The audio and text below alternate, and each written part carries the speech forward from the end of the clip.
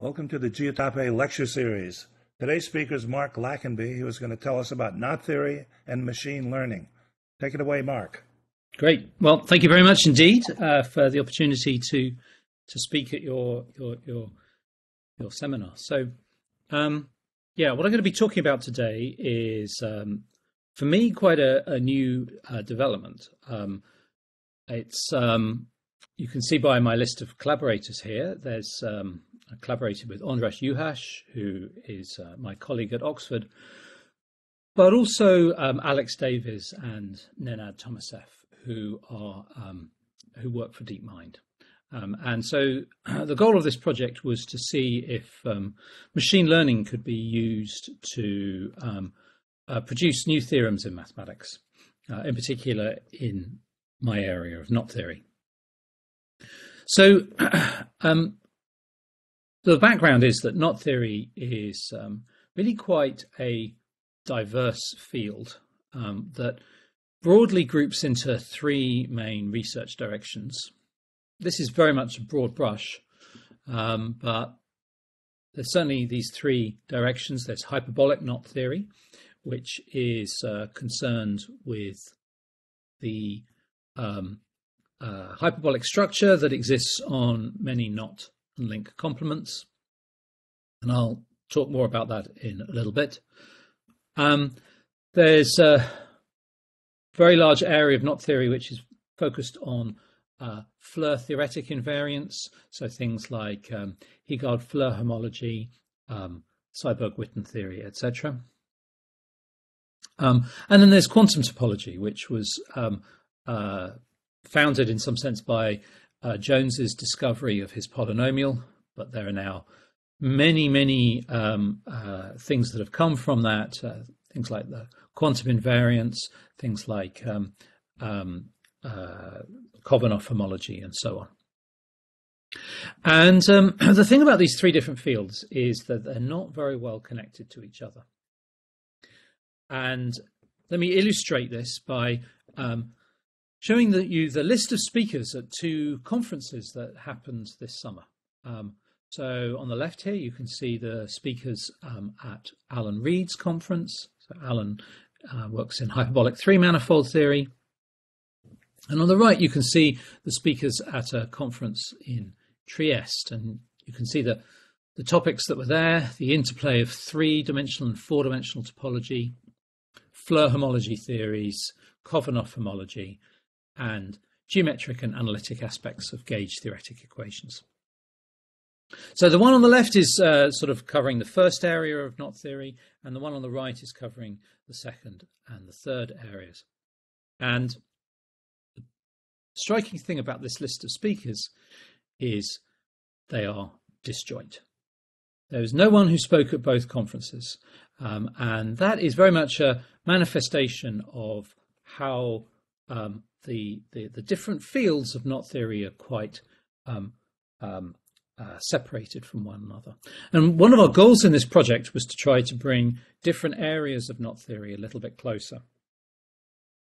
So um, the uh, uh, branch of knot theory uh, related to um, Floer theories and um, the branch related to quantum topology does have some links.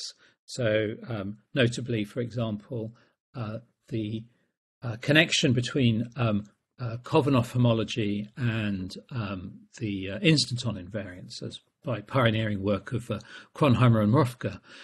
Um, but hyperbolic knot theory is very much on its own. So the idea was to find connections between these fields, and we focused um, on the various invariants that come out of these fields. So on the left-hand side in hyperbolic knot theory, you're dealing with um, a hyperbolic structure on a knot complement, um, Riemannian metric, and so there are various sort of natural invariants attached to it, things like the volume, the length spectrum, the lengths of geodesics. And there are more refined invariants, for example, the cusp shape and volume, trace field, etc., etc. So there's a whole string of possible invariants of uh, hyperbolic knots. And on the other side, um, there's things like Heegaard Floer homology, instanton Floer homology, um, and um, uh, some of the quantities attached to them, things like tau, epsilon, upsilon, etc. And we actually focused on a slightly simpler version, simpler uh, three slash four dimensional invariant, namely the knot signature. Um, so this definitely lives on the right hand side. It definitely is, in fact, highly correlated with um, many of these invariants. Um, and it also has uh, uh, um, uh, interpretations in terms of four dimensions, which is very much a feature of, um, of the Floer theoretic invariants. Um, and we focused on the knot signature primarily because it's easy to calculate. So in this game, the game that I'm going to be talking about with machine learning, you need a lot of data. And um, it, so having invariants that are eminently calculable en masse is very important. And signature is very easy to calculate. The other ones can be calculated as well. And in principle, we would like to study them too, but it seemed like signature was a good starting point. So, as I say, the goal was to try to find connections between these invariants. So let me just define what the knot signature is. I'm sure you all know, but uh, it's worth just making sure that we're all on the same page.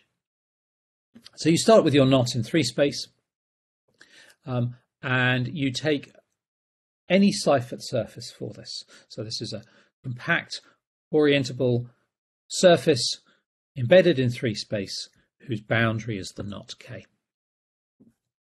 And then there's an associated um, uh, bilinear form on the first homology of that surface, defined as follows. So you take as takes as input two elements of first homology, which you just realize by say two loops, L1 and L2. And then you form the quantity you can see there. So you take L1 and L2, and then you form L2 plus. L2 plus is obtained by taking the loop L2 and pushing it off in transverse direction to the Seifert surface. So you now have two disjoint loops and you look, take their linking number. So if you just take the first term, this is uh, the form that you get by called the Seifert form, and it's used to, for example, calculate um, the Alexander polynomial. But we want to take the symmetrized Seifert form, so you add on the same thing, but with the role of L1 and L2 reversed. So that's now a symmetric bilinear form, and so it has an associated signature, and that turns out not to depend on the choice of Seifert surface that you made. Um, and it's a knot theoretic invariant. It's defined in the 1950s by Murasugi, and uh, it's um, it's uh, it's very important.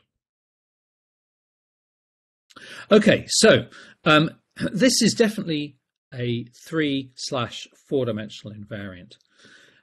The way it connects with dimension four is um, uh, you think of R3 as the boundary of R4 plus. So R4 plus is upper half space in R4.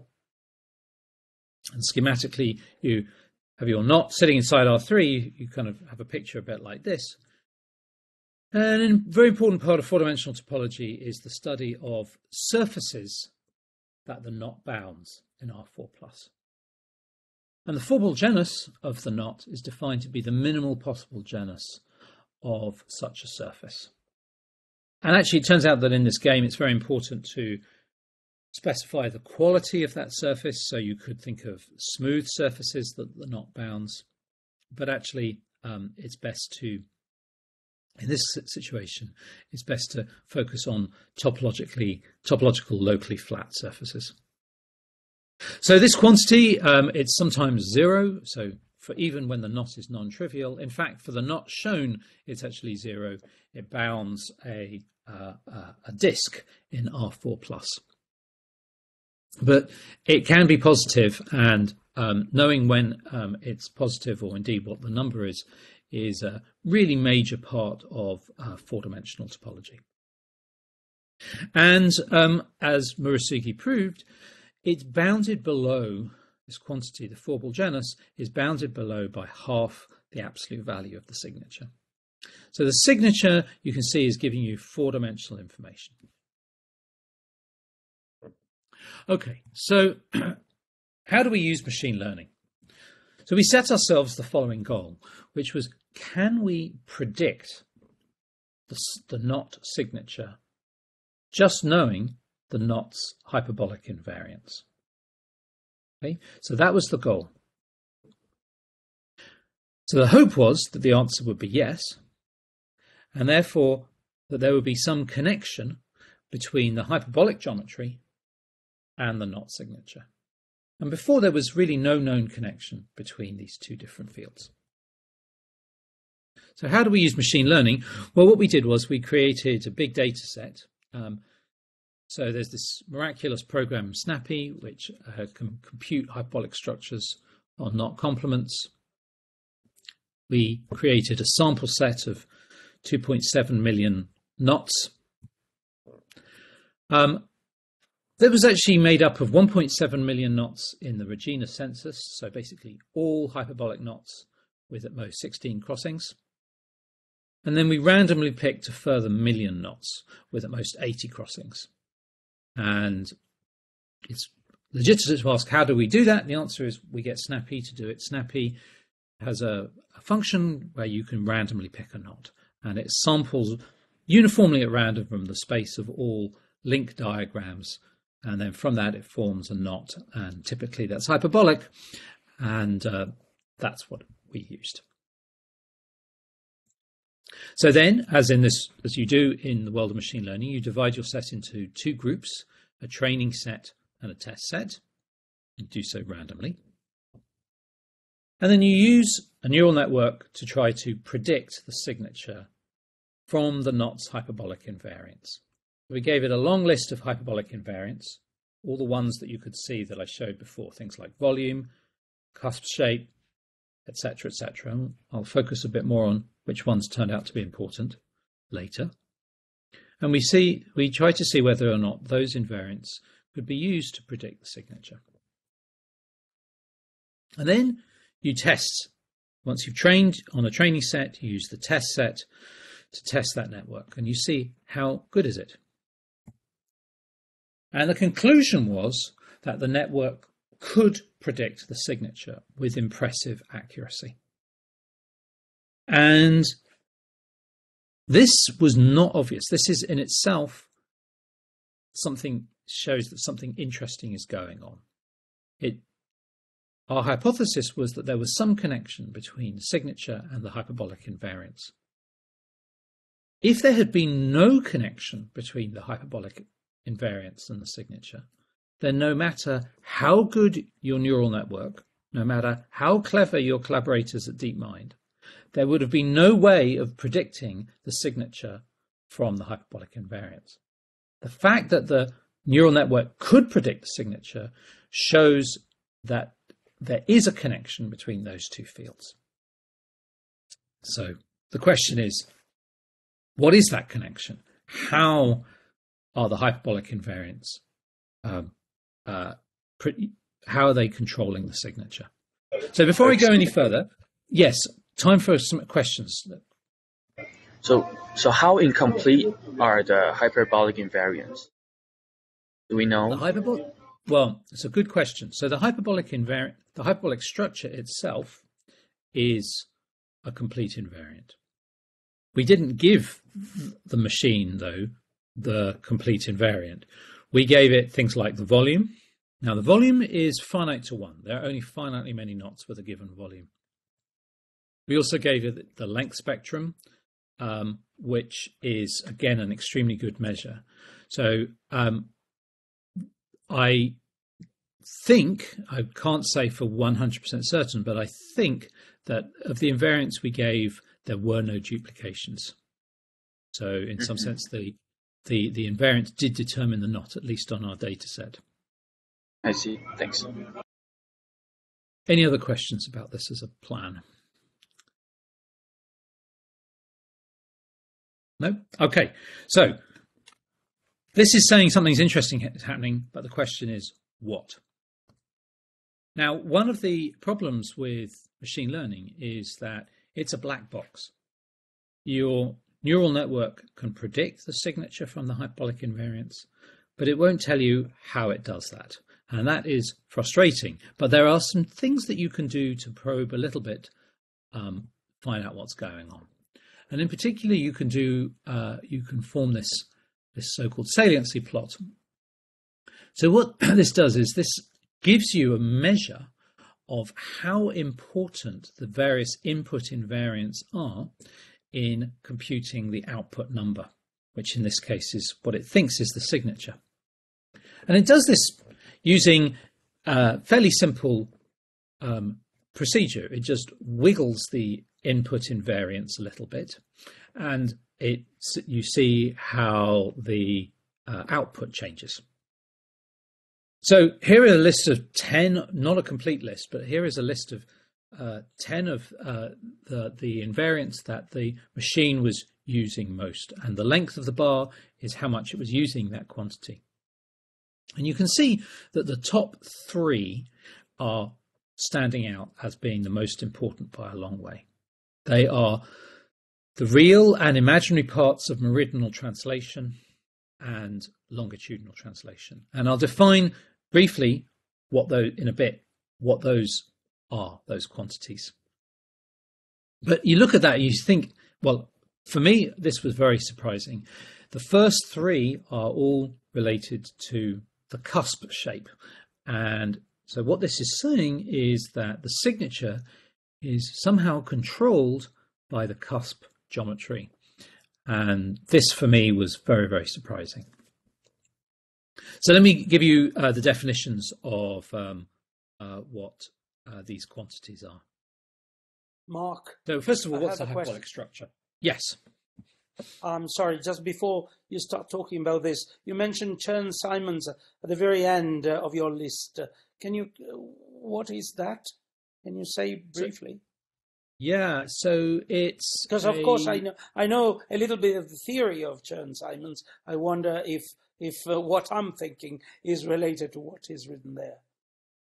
Yeah, so um, it's a um, a quantity which is defined as a um, an integral um, over the manifold. Um, uh, it is what you, I think it is what you think it is. Um, it's uh, uh, it's the often viewed as the imaginary part of the volume. Um, so you look uh, a good quantity to look at is the volume plus I times the Chern-Simons. The Chern-Simons invariant is only defined, it's defined um, mod 2 pi. Um, Right. and um, it, it, in fact, the way that uh, SnapPy calculates it is it calculates it from a, a decomposition of um, the manifold into geometric tetrahedra, and then it uh, each tetrahedron has an associated quantity, and from that it creates the Chern-Simons invariant. It would be fair to say that uh, at least uh, uh, the ones uh, mentioned at the very bottom of this list uh, do not uh, play a significant role in uh, in uh, Yeah. detecting. Exactly. So the Chern-Simons turned out to be. Um, it was in the mix. We did, we had no idea. In fact, it seemed reasonable that it, at the outset that it might be involved, but as you can see, it it basically wasn't. Yeah. Mhm. Thank you. Okay. So what is a hyperbolic structure? Well, um, it's a Riemannian metric on the knot complement that is complete and that has finite volume and has constant negative curvature, minus one. Um, and Mostow's rigidity theorem says that if you have such a metric, then it's unique up to isometry. And Thurston's monster theorem, for which he he basically got his Fields Medal, um, says that if you start with a non-trivial knot, then its complement has a hyperbolic structure, if and only if um, two things don't happen. One is it's not a torus knot. In other words, it's not doesn't live on a standardly embedded torus sitting inside R3. For example, here on the right, the trefoil knot. And it's not a satellite knot. So the way that you form a satellite knot is you take a non-trivial knot, in this case a trefoil, you thicken it up to a solid torus, and then within that solid torus, you draw your knot. And that knot inside that solid torus it has to have two properties. It can't be a core curve of the solid torus, and it can't lie inside a three ball within the solid torus. Both of those would be trivial in some sense. So if you can build your knot that way, then it's a satellite knot. And Thurston's theorem says that as long as these two things don't happen, and generically they don't, then the knot admits hyperbolic structure. So there are many different invariants then, because, and which are then unique because of the uniqueness up to isometry. You can therefore know that the volume of the knot is well defined. Um, but we're going to focus on the cusp geometry. So um, what's that? Well, this is a non-compact manifold. We've taken S3 and we have drilled out the knot and we've got a non-compact manifold.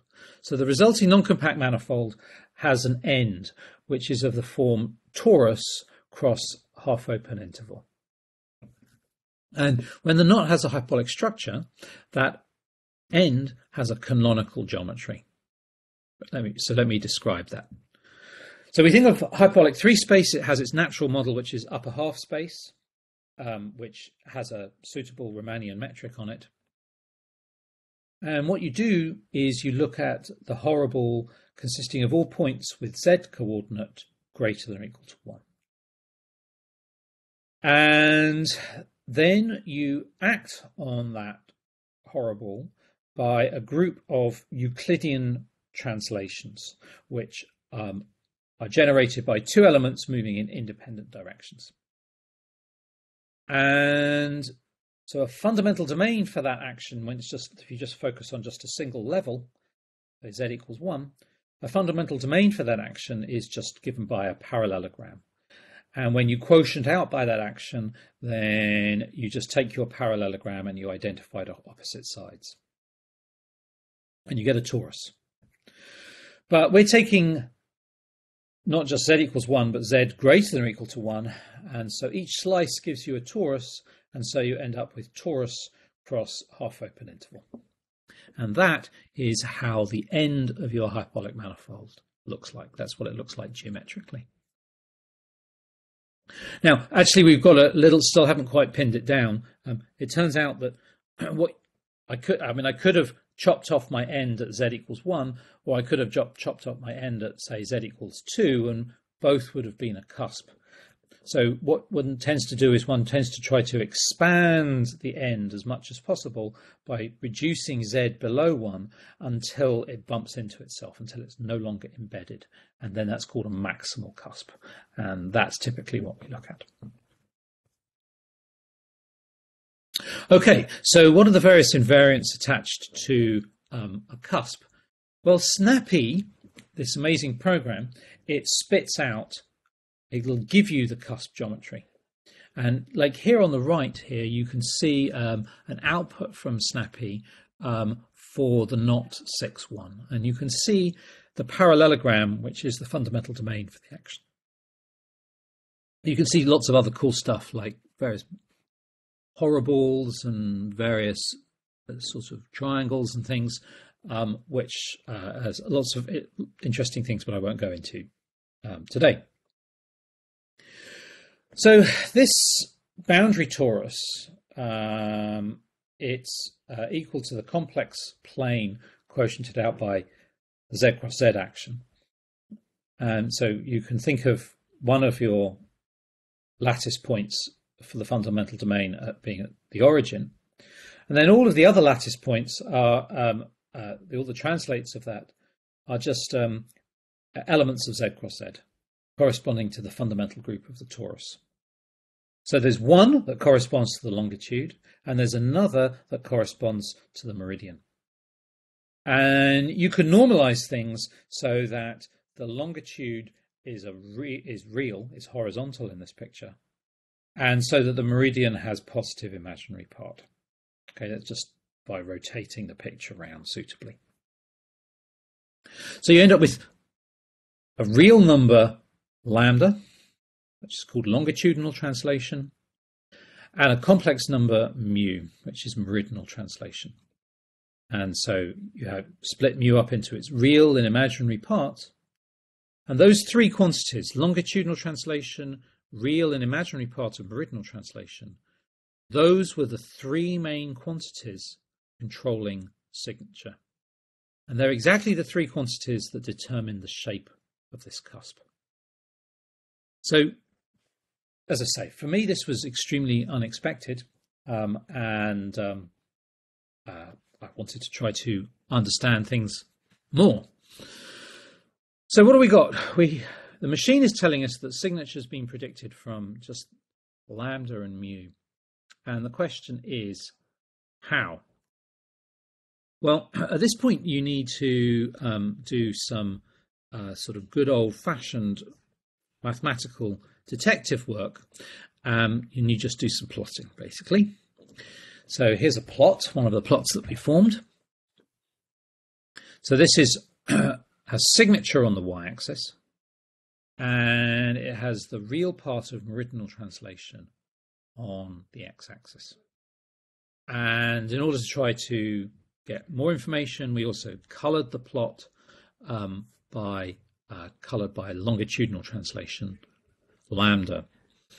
So each one of these dots is a is a knot. It's a hyperbolic knot. This is one of our. There's a lot of multiplicity here, but there are can't see them all, but there are 2.7 million dots there.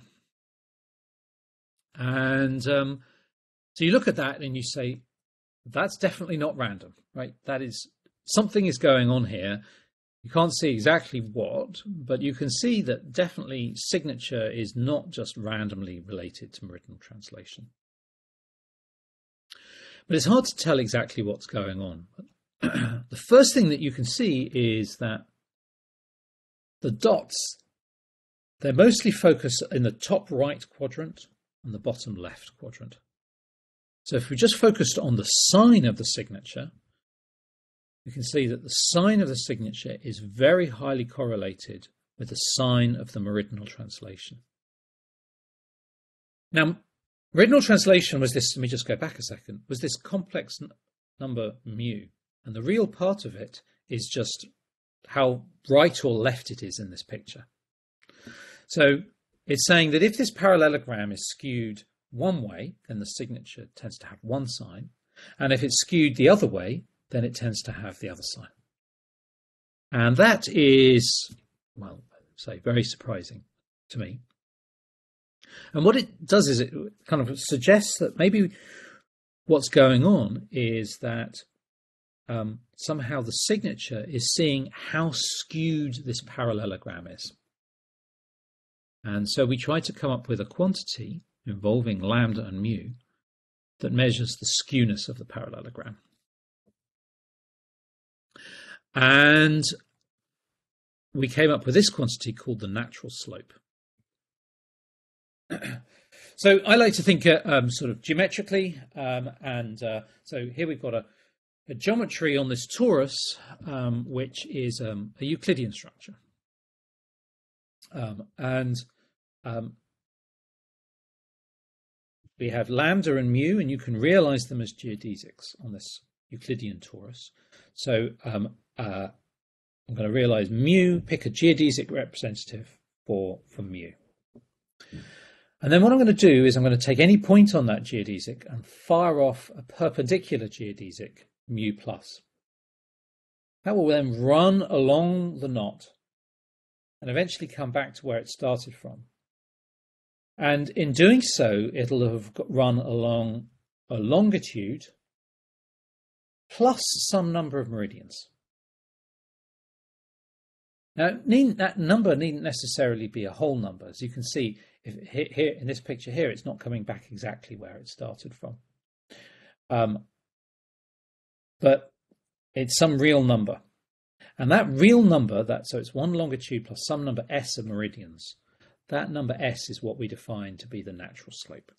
And actually, we took minus it just to make sure that all our signs worked out. And a little bit of um, just Euclidean geometry says that it's determined in terms of lambda and mu as the real part of lambda divided by mu. So this quantity is clearly is capturing the skewness of this parallelogram. right? So if the parallelogram was actually a rectangle, then when I pick my point on mu, mu would be now a vertical thing. When I picked on my point and fired, it off, fired off a geodesic orthogonally, it would run exactly along the longitude and come back to where it started from. And so this number s would be zero.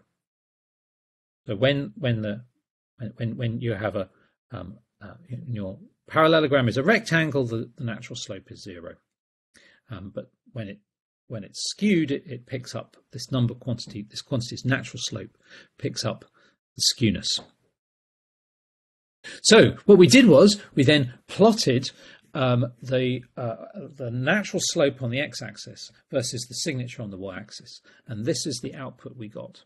And you can see here that uh, these so each there are lots and lots of dots here, but they're following basically what looks like roughly a straight line.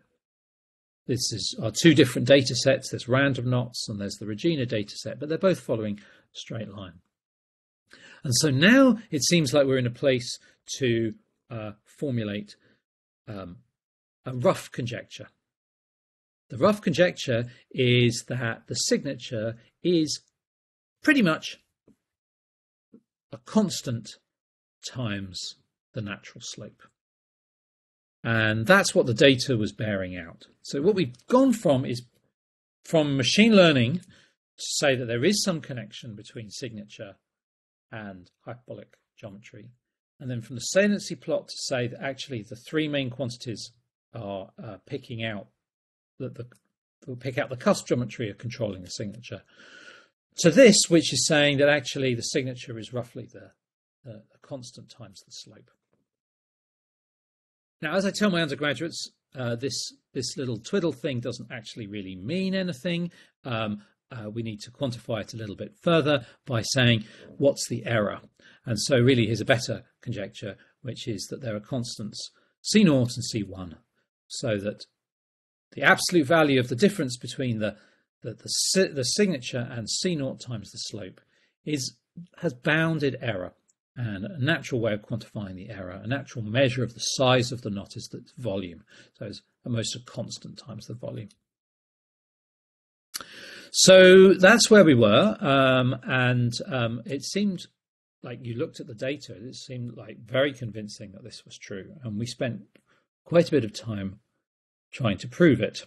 Um, and um, it, we just weren't getting anywhere. Um, and it turns out the reason we weren't getting anywhere is because it's actually false. Despite this plot, these plots, which strongly suggest that there's a linear, roughly linear relationship between these two quantities, slope and signature, this is actually false.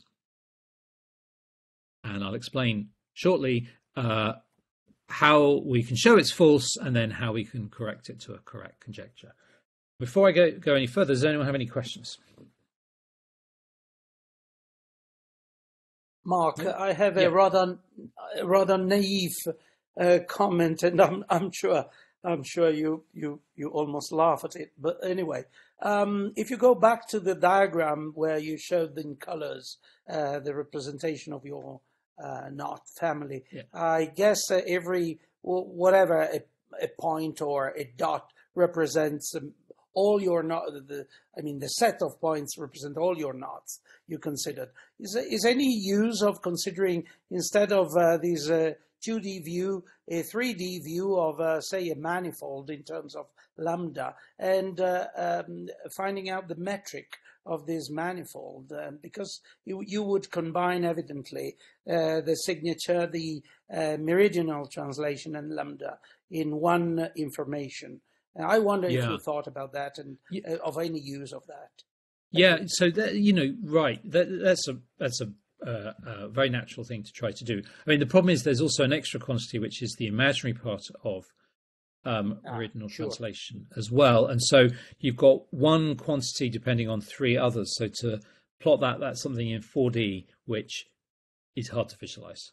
Um, and we tried to keep it simple. We but but we actually did multiple versions of these plots, and um, uh, yeah, it's it's not clear what the the right like how you get your how, how you go from a picture to really trying to work out what's going on. Um, but yeah, it we, we we didn't actually form any 3D plots, um, but uh, that would have been the next step if we hadn't made it further progress. Okay, thanks. Okay, so um, let's move on. So um, let me show you how we disprove the conjectures. Um, so the problem is that let me just go back a bit. We've got these conjectures that there's they're saying that signature and a constant times the slope is bounded. They differ by a quantity that's at most the volume, constant times the volume. The problem is that you can't disprove such a thing by any given example. Um, because you could always just change C0 and C1 to, to, to fit the data. So obviously to, to, to try and disprove such a thing, you need to find a sequence of examples. And it, it's, it's best, it's not essential, but it's best to find a sequence of examples with bounded volume. And it turns out there's a well-known construction of forming a sequence of knots with bounded volume. As follows. You start off with a knot K in the three sphere, and you have a collection of curves C1 up to Cn that, in the complement of K, the bound disjoint disks in the three sphere. So just a collection of un- disjoint unknots. The knot K is allowed to smash through the interiors of those disks. And then you suppose, and you can arrange this, um, that uh, the, the, the resulting link K union C1 up to Cn is hyperbolic. And then what you do is you form the knot K Q1 up to Qn, which is takes for each of these CIs, just adds QI full twists to the knot, to the strings going through through that, that, that disk bounded by CI. So for each n tuple of integers, you have a knot. And what we did was um, we looked at the slope and the signature and the volume of these. Now, it turns out that when analyzing such things, we also need to look at the following quantities, the linking number between K and Ci, and we suppose that these that the numbers are arranged that the first m of them, the first m of them are even and the, the rest are odd. Then the conclusion is that we can get the slope asymptotically and we can get the signature asymptotically and also the volume. So Thurston's hyperbolic Dehn surgery theorem says that for large enough QIs, the volume of these knots, uh, the, the resulting knots are hyperbolic and have bounded volume. And with some work, you can work out what the signature and the slope is. Some complicated formula, but the most important thing to see is here that the way that the slope is working is different from the way that the signature is working. And so by choosing your lambda i's appropriately, you can arrange that the slope and the signature grow at different rates. And therefore, that they couldn't possibly be linearly related. So you find one sequence of examples where if they were linearly related, C naught would have to be one constant, another sequence of examples where if they were linearly related, C naught would have to be another constant. And so there isn't a single C naught that works. And so that disproves the conjectures. And at this point, we were a little bit depressed, it has to be said, um, because we had all this data that was saying that something was clearly going on, but the conjecture that the data was pointing to was was wrong. But nevertheless, the insight that gained from proving these theorems turned out to be enough to, um, uh, to, to go to the right conjecture.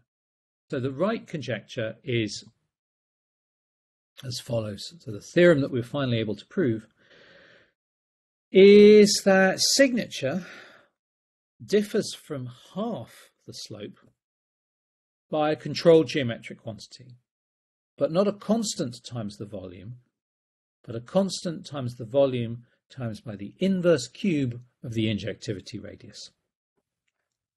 So the way the injectivity radius is defined, you, you uh, if you just look at the whole manifold, then the injectivity radius is zero, so you don't want to take that. What you do is you truncate the maximal cusp and then just look at all points in the maximal in the complement of that maximal cusp, and look at the injectivity at those points, and take the infimum of that. And this turns out to be a quantity which is eminently computable, and um, uh, uh, you, it, it, it's this that should be forming part of the the error. Um, also, you could say, well, maybe I didn't want to look at the injectivity radius.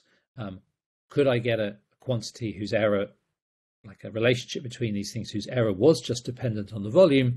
And there is also a theorem that says that. It says that signature and half the natural slope um, uh, plus a correction term uh, differ by at most a constant times by the volume. And the way the correction term works is what you do is you look at all of the geodesics in your manifold with length less than some number. Um, so at 0.1, it turns out works. And um, the, uh, um, the, so those are turns out that when they're length less than 0.1, these are embedded geodesics and they have a linking number with your knot, and you just focus on the ones that have odd linking number. And for each such one, each geodesic has a, a, a, a length, but it turns out that it also has a complex length, which measures not just the length of the geodesic, but how much it twists as you parallel translate along it. And then associated to that complex length, there's a, a, a correction term which we call kappa of the geodesic, you add that up. It's just, there's only finitely many such geodesics in your manifold, so this is a finite sum. And you add that to half the slope, and it turns out that that, is the correct approximation to the signature. So these are the two theorems that we eventually hit upon, um, and um, in some sense, that's the sort of the, the culmination of starting with the machine learning to find a relationship, delving deeper to find out what quantities are controlling the signature, and um, uh, and then finally coming to a theorem to theorems that actually um, uh, that, that, actually prove that relationship. So um, I don't particularly I, I, I, I don't think I've probably got time to really explain how the theorems are, are proved. Um, I, I, might a little bit, but before I um, do that, I, let me just give you some consequences. So as I say, one of the reasons, like you know, what one of the goals of our of our of our project was to find these connections between these different areas of knot theory, and we think that was just interesting in its own right, but actually. One, once you found connections between different areas, the hope is that you can use information from one area to provide information about the other area. So, for example, we already know that the signature of a knot um, forms the, uh, is used to bound the four-ball genus from below. And the four-ball genus, this very important quantity, is before this was not known to be related to the hyperbolic structure at all. But now, because of these connections, there is now a known relationship. One is that the four-ball genus of a knot is bounded below at least by quarter of the absolute value of the slope minus this quantity, um, which is purely geometric. So you have a purely geometric lower bound on four-ball genus. Now, for any given knot, this doesn't provide any new information than the signature did because it goes via the signature. But nevertheless, I do think it's interesting that you can, from just purely geometric information from the hyperbolic structure, get lower bounds on four-ball genus. That's just applying theorem one, just at, which says that the four-ball genus, which says that the signature and the half the slope are related. Um, there's also a version involving theorem two, which is actually stronger, where you have, which doesn't end up with a, an error involving injectivity radius. So I think that's pretty interesting. So this is using going from the hyperbolic geometry to four-ball genus. Another consequence is to the theory of of Dehn surgery. So, um, um, you know, in the theory of Dehn surgery, this is a class, very classical and important way of building three manifolds. So what you do is you start with some knot, you drill it out, forming a three manifold with torus boundary. And then you take, you've drilled out a solid torus and you now glue that solid torus back in in a different way. And that's called surgery. And um, it uh, it's an important way of building three manifolds, and it's very much studied. And it turns out there are infinitely many different ways of gluing that that that, that solid torus back in that are parameterized by a fraction q over p. So let k q over p be the manifold that you get by Dehn filling using that, that data. And it's a theorem due to Thurston that for finally, for all but finitely many values of Q over P, the resulting manifold also admits a hyperbolic structure. And so a very large body of research is asks what possible values of Q over P result in something non-hyperbolic. And these are called exceptional. And well, it turns out that cusp geometry, which is one half of this equation, um, is known to control exceptional surgeries. Um, so each, so you, what you do when you do your surgery, what you're doing is you're attaching on a solid torus, and what really matters is where the meridian disk of that solid torus, its boundary is attached along a q over p curve on the on the boundary torus, and um, now that q over p curve it has a, a length associated with it because it's this boundary torus has a, a Euclidean structure just coming from the boundary of the cusp. And um, uh, I proved a theorem, and so did Ian Agol some years ago, that says that actually, if that length of that slope is greater than six, then uh, the resulting um, manifold is is is is is hyperbolic. So this was already known. This is this is known that cusp geometry controls um, uh, exceptional surgeries. But now what we know is there's a relationship between cusp geometry and signature, and so therefore signature controls exceptional surgeries. Um, and you get the following theorem that um, uh, that uh, if if if q over p is an exceptional slope, then it has to lie in a short interval focused around minus the natural slope of the knot. So this wasn't known before, um, and I think that's also interesting. I think it's worth exploring further, understanding how signature is controlling um, exceptional surgeries. I, I might expect that there might be similar results with instead of signature, say, for example, um, quantities related to Heegaard Floer homology, also giving a similar sort of result. It's sort of very suggestive of future directions. Okay, so those are some applications. Um, uh, uh, concrete. Here's a well, here's a concrete example of famous minus two three seven pretzel knot, which has a lot of exceptional slopes. I've known these slopes for ages. Sort of, they are 16, 17, 18, 37 over 2, 19, and 20. And I've always thought it was a strange list of numbers. They're all kind of close to each other. And this actually says that they had to be. They all turn out to be have to be close to minus the slope, and um, minus and and and uh, uh, minus twice the signature.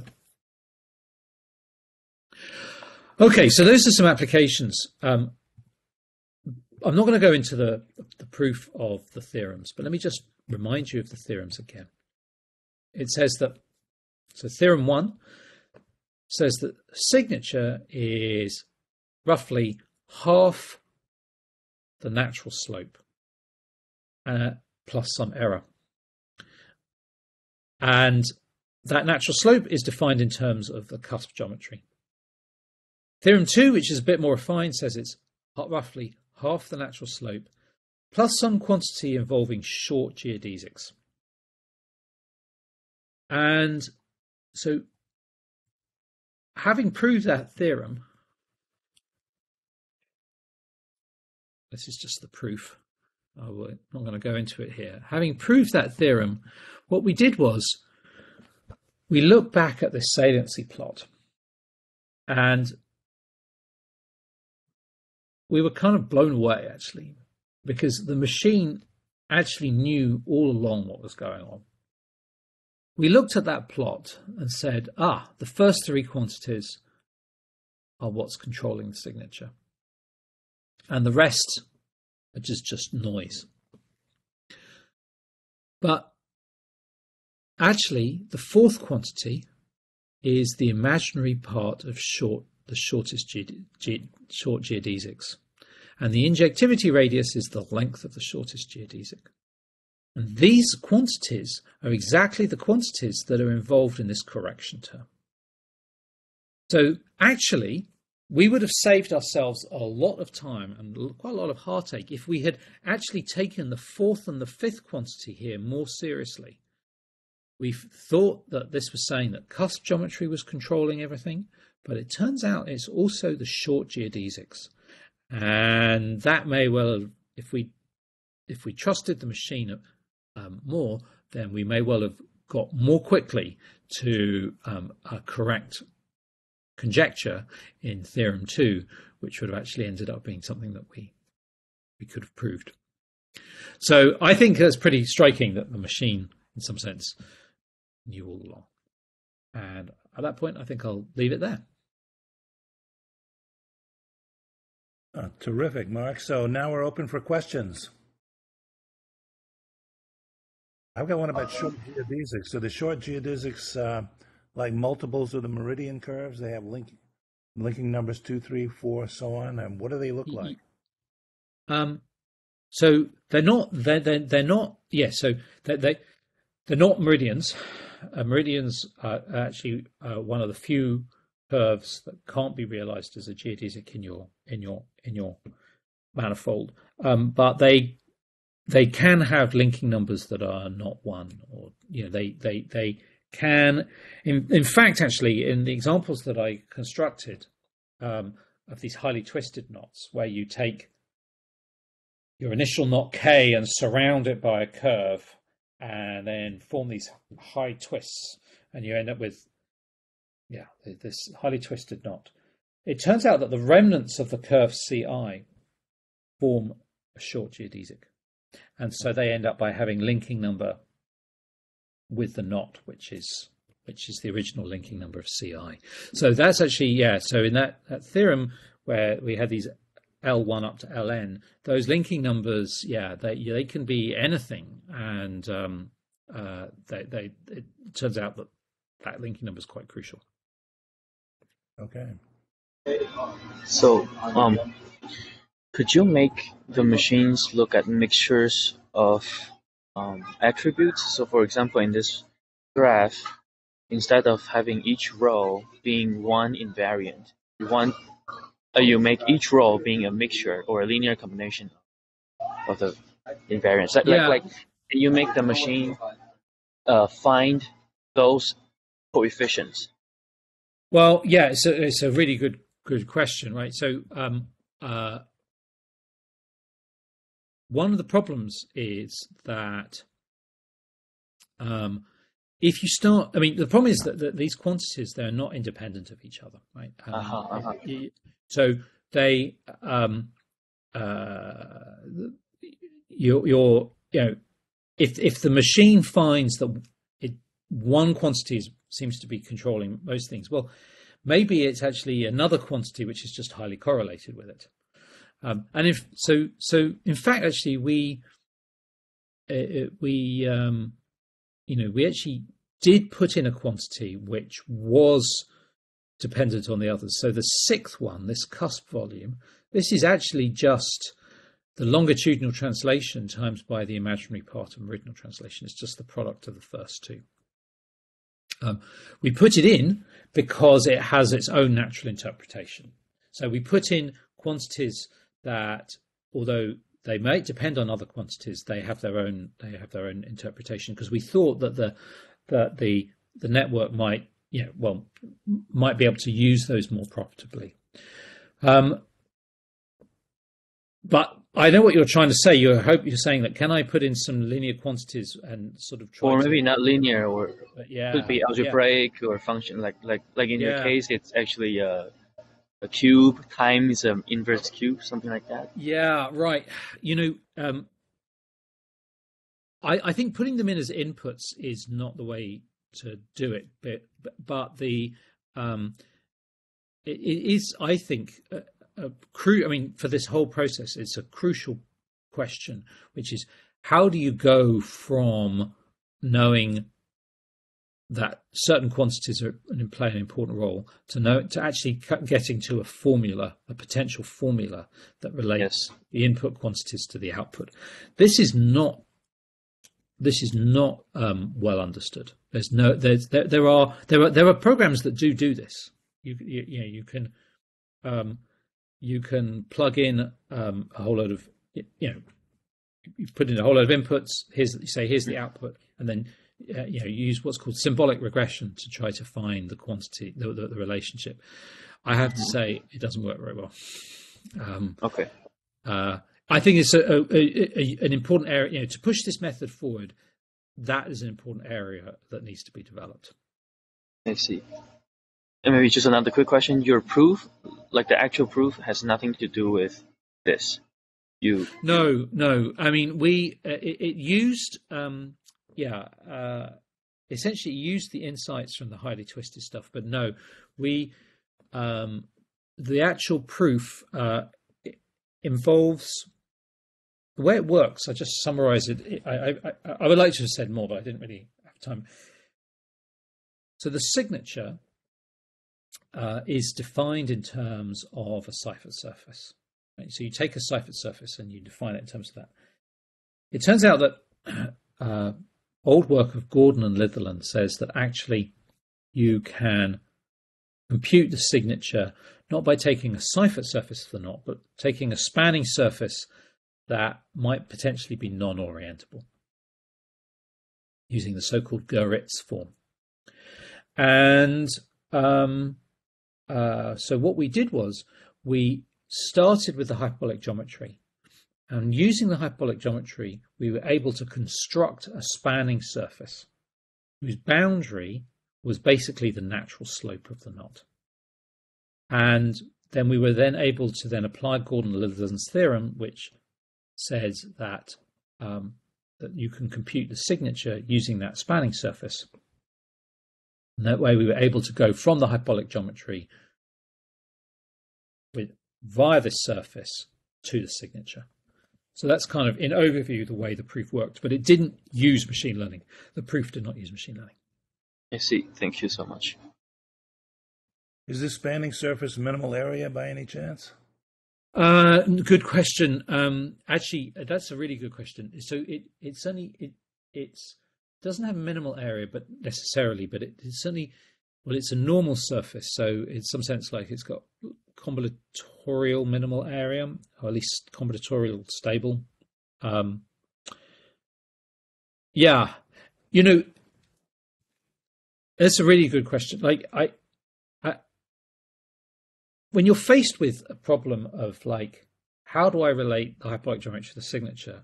It's really hard. You know, it's like it's it's you have in some sense it's you have the, the you, you can go down any possible route. We looked at lots and lots of different routes, um, and like we did think about minimal surfaces. Um, a natural thing to do in some sense because you know relates to the geometry, but it also is surfaces and therefore relating to signature. Um, we also looked at other relationships. So, for example, um, uh, there are integral formulas, four-dimensional integral formulas for signature, um, trying to relate them to the geometry. Um, I, I think that actually there may be other that this. I have a feeling that there may be other routes to theorems like this.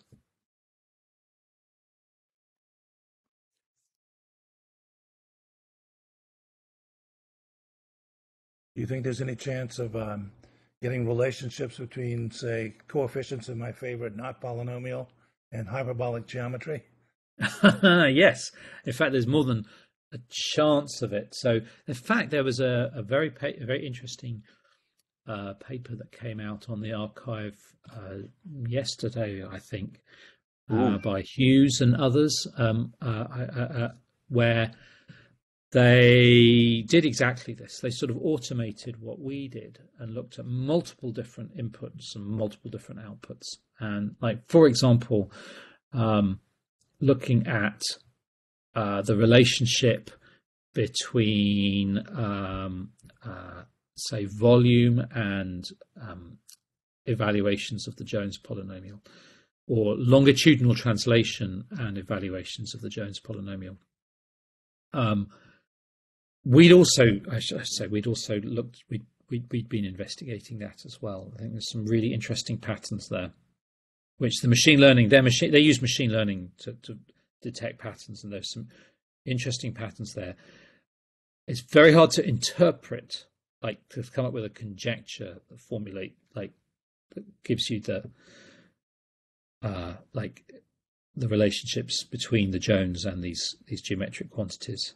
I mean, we were somewhat inspired by the the volume conjecture, which said that like the asymptotics of the colored Jones polynomials should control the volume.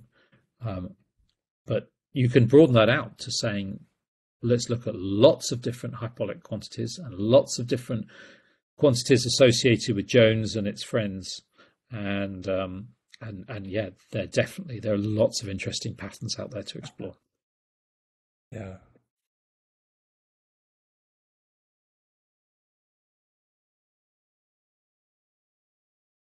Marc, I, I had a question. Uh, it's Oh, John John. Luecke. Uh, yeah, so so once you have the surface, how do you get the? I mean, I still don't see how you get the signature from knowing the surface. What's the? Well, uh, yeah, right. So, uh, yeah, sorry, I, I apologize. I didn't really uh, focus on the proof. So, um, uh, Gordon Litherland says that um, the signature of uh, the knot is equal to the signature of the Goeritz form plus a correction term. And the correction term is basically the boundary slope of the relevant surface. Um, so, what we do is we get a surface whose genus is controlled just by geometrically, controlled by the volume, say, or volume times by the inverse cube of the injectivity radius. And so, therefore, the signature of that Goeritz form is controlled geometrically. You mean just as a bound, just as an upper bound or something, or? Yeah, just as an upper bound, exactly. Yeah. And therefore, what really matters is the boundary slope of that surface. And that turns out we've arranged geometrically to be equal to the, the natural slope. But I feel like there's more to be done there. I mean, you know, just viewing the the the signature of the Goeritz form as an error term is clearly like unsatisfactory. I'd like to do more. I'd like I feel like we should be able to get a better approximation to the signature geometrically. Oh, very neat, very neat. Nice talk. Thanks. Thanks, John.